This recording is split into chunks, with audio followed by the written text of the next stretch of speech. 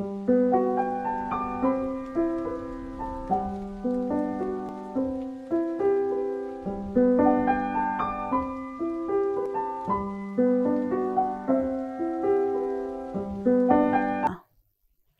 afternoon. Myself Dr. Ruchi Gupta, Associate Professor, IT Department. Today we will discuss Software Development Life Cycle, SDLC. As I have already discussed in my previous lecture, Software Engineering Concept and Definition. So, now uh, we have uh, seen that uh, how we can develop a software by using a systematic approach. So, uh, software development life cycle, it is a life cycle, it is a systematic approach to facilitate the development of large software product in a systematic well-defined manner.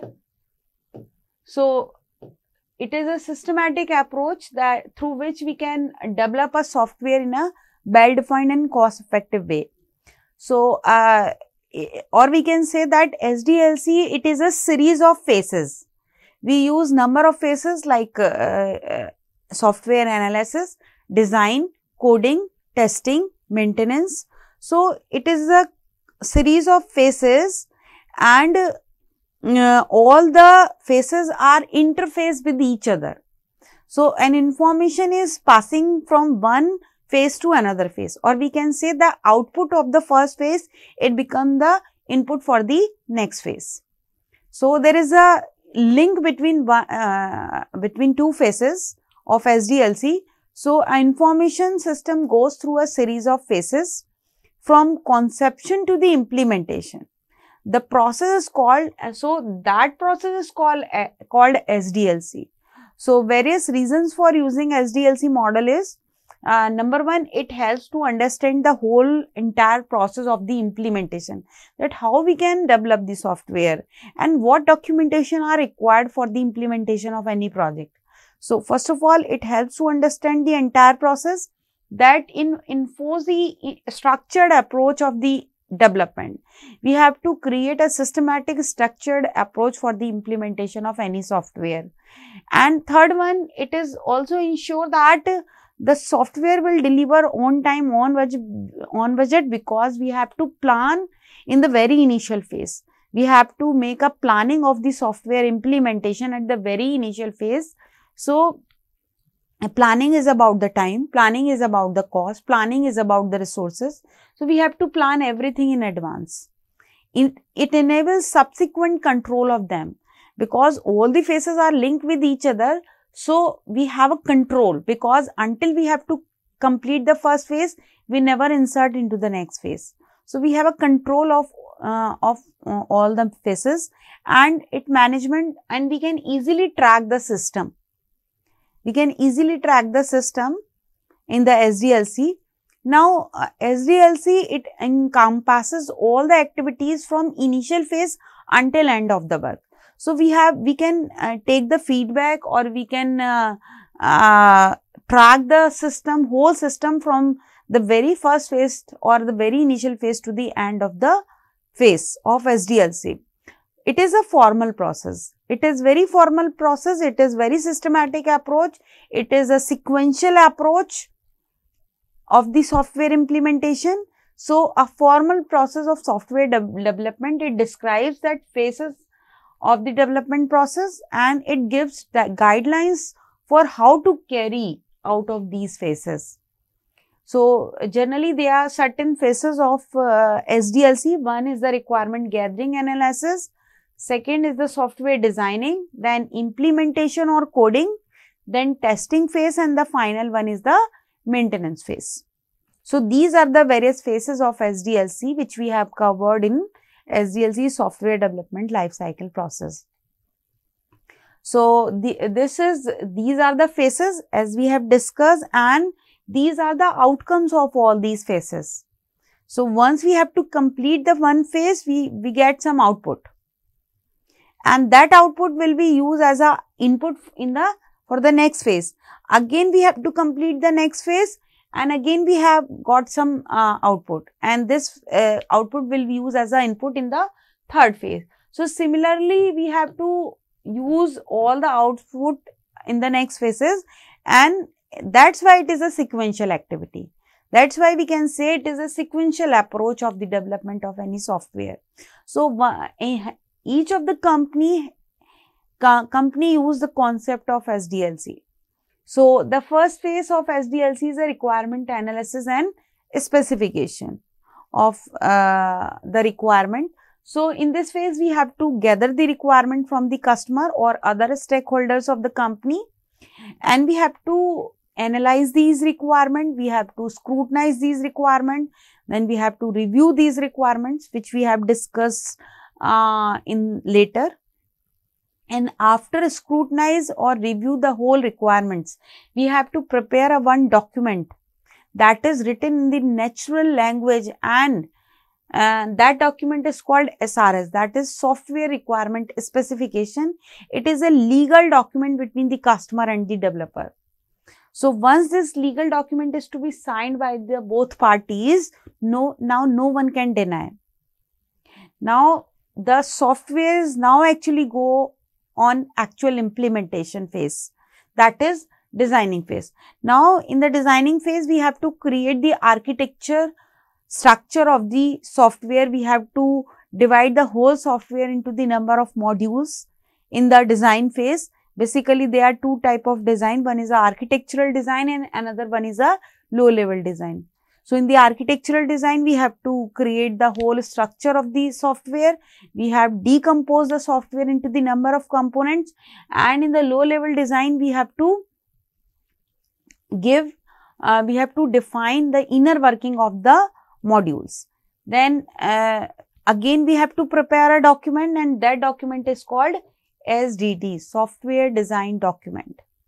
Now, we come on the integration and system uh, sorry, coding and unit testing. This is the third phase of SDLC. So, in coding and unit testing, we have to, uh, the document which we have uh, received from the design phase that is a design document, we have to use that document and we have to go for coding part.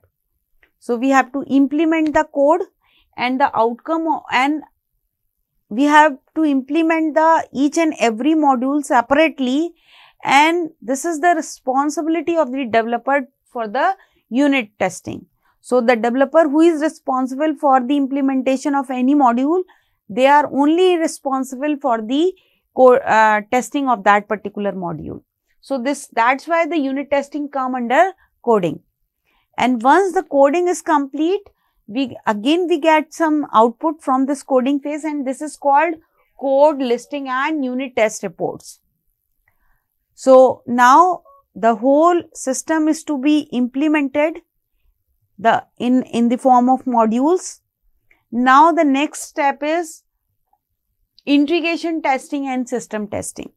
So, in this integration testing and system testing, we have to integrate whole modules which are already tested in the uh, with the help of unit testing in the coding phase. Now, we have to integrate all the modules and again test the complete uh, software, once the all uh, modules are to be integrated with the help of uh, two testing approach, there are basically two integration testing methods are available. One is a top down approach and another one is a bottom up approach. So, once we have to integrate all the modules then we have to apply the system testing. System testing is about the hardware as well as software testing. So, once we have to complete the whole testing, all these uh, basically we have to discuss all these phases in detail in the uh, in the whole syllabus. So, once we have to perform this integration and system testing, so we get an, uh, some output after this phase that is uh, in term in terms of test cases and test reports. We have to generate the test reports after the integration and testing phase. Now, your system is ready for deploying. Now you are ready for deploy your software to the customer. Once the software is deployed to the customer, it will go on to the maintenance phase. So till the time, till the time the customer will use this software, it will remain in the maintenance phase. So it will remain stay in the maintenance phase. So, uh, in the maintenance phase, we have continuously upgrade our system or modify our software. So, the outcome of this uh, maintenance phase is the revised versions and the reports. So, this is the whole process of the SDLC phase and their outcomes. So, basically these are five phases software analysis and designing, uh, sorry, soft requirement analysis and specification, then designing, then coding and unit testing, then integration and system testing and the final one is the maintenance. So, this is the overall description about all these phases which I have already uh, discussed with you. First is the requirement uh, gathering and analysis. So, in this phase we have to decide what the system is supposed to do, what we want to implement. So, as per the uh, problem statement we have to collect the requirement in this phase and we have do not think about how the system will perform. We are not don't we, we are not worry about the system technical uh, jargons. We have just described that what the system will do after implementation. We have to prepare a user manual in terms of SRS in this phase and this is your, uh, this is the outcome of this phase that is requirement specification, software requirement specification document that is SRS. Now, once we have to complete this uh, first phase of SDLC, then only we have to go or move further into the next phase of SDLC that is software design phase. Now, in this uh, design phase, we have to plan that how we can implement the software. Means we have to, as I have discussed that we have to create the structure of the software in terms of uh, architectural design or top level, uh, low level design. We have to discover the structure, underlying problem to be solved. Uh, as I have discussed that we have used two approaches, structure design and detailed design. Detailed design is a uh, low level design. Structure design, architectural design. And in this uh, designing, we have to define, give the description of uh, classes and methods and the relationship am among all the classes. And once we have to create these class diagrams, then we have to go on to the coding phase and directly we have to give the definition of these classes, which we have already described in the design phase. And the outcome of this design phase is a software design document. Now, once we have to complete the designing, now we have to move further into the next phase of SDLC that is implementation or coding phase. So, coding and unit testing both are uh, in the same phase, will it will remain in the same phase. So, in this uh, mm, phase, we have to write and implement the code. If we are a programmer, if we know any programming language, then we can easily implement the code. Then code implements classes and methods, which is already discovered in the design. We have just give the definition of these classes, which we have already described in the design phase. And the outcome of this phase is code listing and unit testing reports. Now, once we have to uh, code or implement the whole project, then we will move further to the testing phase. And the final validation has been done in this phase only. we use various strategies for the testing. The first is a unit testing, which we have already done in the coding phase. And now in the testing, we have to done integration testing and system testing. In the integration testing, we have to integrate all the modules which we have already tested individually or independently in the through the unit testing process. Now, that after that we have to perform the system testing. That is also divided into three parts alpha, beta and acceptance testing. Alpha testing is done on the developer side, beta testing is done on the uh, customer side. Acceptance testing has been done when uh, alpha and beta sorry alpha and beta testing has been developer done on the developer side and acceptance testing has been done on the customer side So, the output of these testing is the test cases and test reports. Now, finally, once we have to completely verify or validate our project, then the software is ready for the deployment. It is ready for deliver. So, when we have to uh, deliver the software to the customer, it will go on to the maintenance phase. So, this is our maintenance phase. In this, we have to install the software on the customer side. Users uh, use the program for intended purpose. And we use the different uh, maintenance approach in this maintenance. Corrective approach perfective approach or adaptive approach. And all these approaches we have discussed in the maintenance phase separately. And the output of this uh, uh, maintenance phase is the revised version and reports so this is the overall uh, process of sdlc uh, now what is software process and how we can use this SDLC for the implementation of any project. So, uh, process is basically it is a set of activity whose goal is the development or evolution of the software.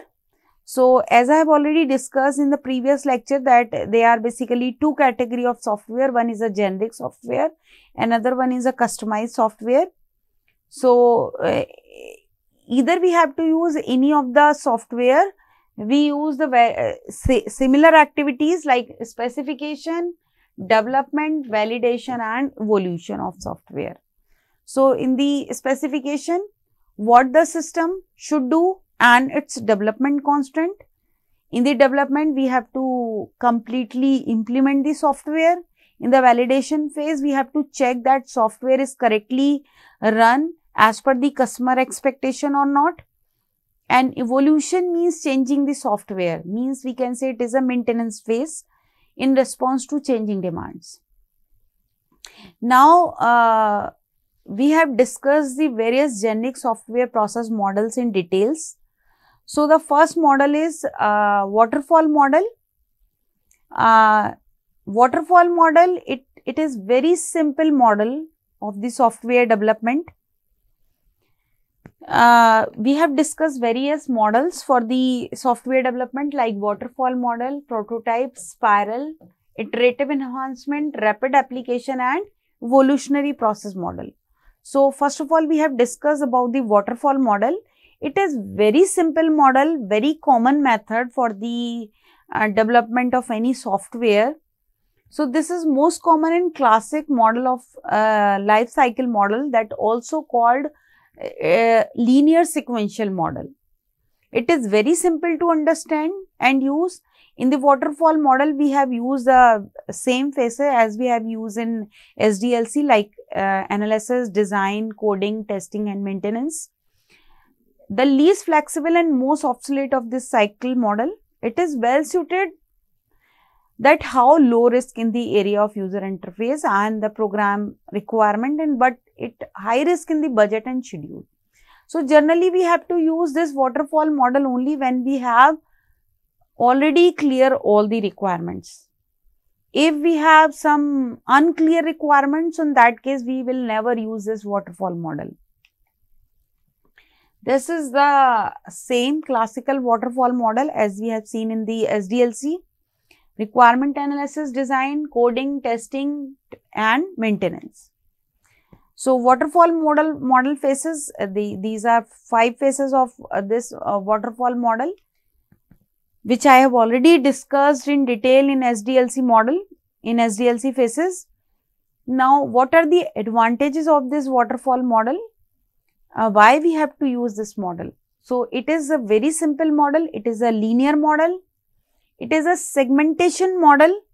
All the work has been divided into the number of segments and the most important part why we have to call it a waterfall model because it uh, the activities are in sequence all the activities are in sequence sequential model that's why we have to call it waterfall because the output of the first phase become the input for the next phase.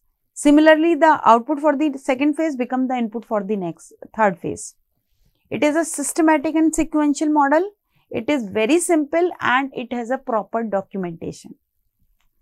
Now, if we are talking about the disadvantage of this uh, model, so it is uh, very difficult to define all the requirements at the very beginning of the project because the major disadvantage of this project uh, model is that uh, we have to freeze all the requirements at the very initial phase that is at the analysis phase. So, once we have to complete the analysis now no one can change the requirement.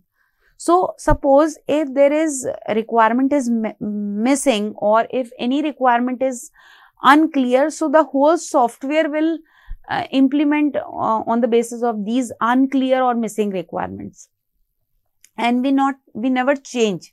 We can't change because the requirements are freeze freeze. So it is not suitable for accommodating any changes. It is not scale up for very large project. So that's why we are not use this project for the large project because in the large projects the requirements are changed very frequently. It is inflexible partitioning of the project into a distinct stages so, this model is only appropriate when the requirements are well defined, well understood and change will be fairly limited during the design, before the design phase. So, we have only used this model when we have a clear requirement. Until we have a clear requirement, we never use this model. So, we have to consider this point in our mind that we have only used this model when we have a clear requirements. So, very few business system have a stable requirements. So, the waterfall model is mostly used for the large system engineering uh, problems whereas a system is developed at, at the several sites. So, we have used this model only when we have clear or uh, correct requirements. Now, iterative waterfall model because there is some limitation with the waterfall model that we cannot change the requirement and we uh, if any error is propagate so the complete system will be destroyed. So we have modified this waterfall model and we have to make a version of this model that is called iterative waterfall model. So this is same as waterfall model only the difference is that we have taken a feedback at each and every phase so that the modification can be easy so, waterfall model assume that it's designing that no error will occur during this design phase. Iterative waterfall model, it improves the feedback at the very initial phase for each process. So, we have to take the feedback at each and every phases so that we can easily identify the error. And once we have to go on to the maintenance phase, we can just go on to that phase and we have to modify so that we can uh, we can uh, uh, easily uh, uh, improve the time or budget also. It is still preferred to detect the errors at the same phase and conduct the review at each of every milestone. So, as we have seen here, we have take the feedback from the user at each and every phase of SDLC. But the concept will remain same. The waterfall model is a iterative waterfall model, but the only difference between waterfall and uh, iterative waterfall model is that in the waterfall model, we uh, requirements are freeze and we are not uh, even we are not taking any feedback in the middle of the uh, development process. We have just take the feedback at the very end, at the very last phase. So, it uh, consume time as well as cost. But in this case, we have to take the feedback from the user. So, once we go to the maintenance phase, we if we have to identify that error is in the design phase, then directly we go on to the design phase. If we found that error in the coding phase, we just go on to the uh, coding phase. We never, we don't require for backtrack the whole system. So, this is a, a complete uh, process of this uh, uh, software development uh, of waterfall model. So, thank you very much.